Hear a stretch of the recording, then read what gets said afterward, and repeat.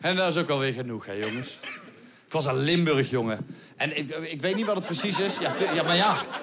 Je moet de decor voor iets gebruiken. Dus, eh, ik, was in, ik, was in, eh, ik was in Bilzen. Weten mensen waar Bilzen ligt? Zijn er mensen van Limburg vanavond? Heeft Janne?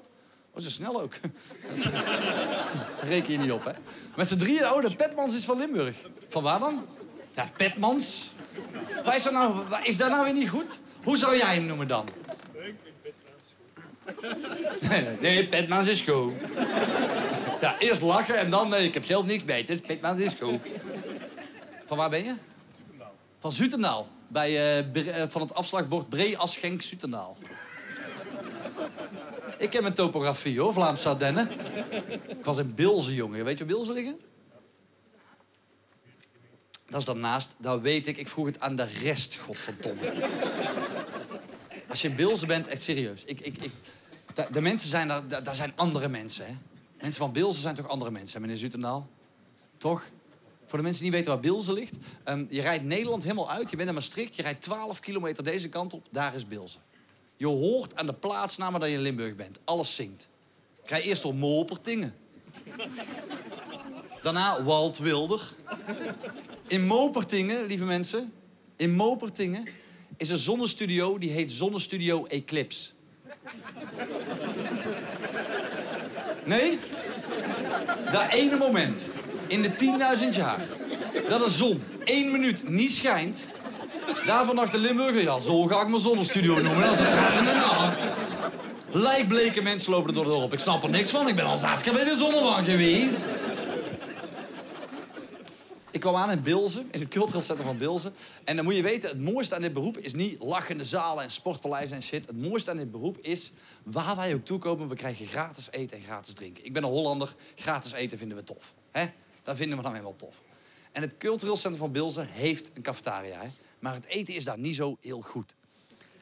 Ik gebruik hier het woord goed zoals ik het woord slim zou gebruiken als ik het over Joke Schouwvlieg heb. het eten is niet zo slim. Het eet zo slecht. De comedian die er voor mij speelt, ik ga zijn naam uit privacyoverwegingen niet noemen, maar hij heet Jeroen Leenders. Heeft gegeten daar. Klimt het podium op. Na een minuut op het podium hoort hij dit in zijn eigen broek.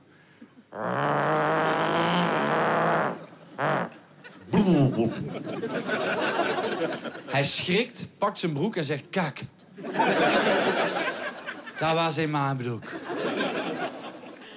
Hij gaat af. We hebben hem nooit meer teruggezien. Voortaan moeten de mensen gaan eten in de cafetaria van het zwembad in Bilzen. Die heet trouwens Cafetaria Zwembad Bilzen. Want Limburgers houden niet van brainstormen.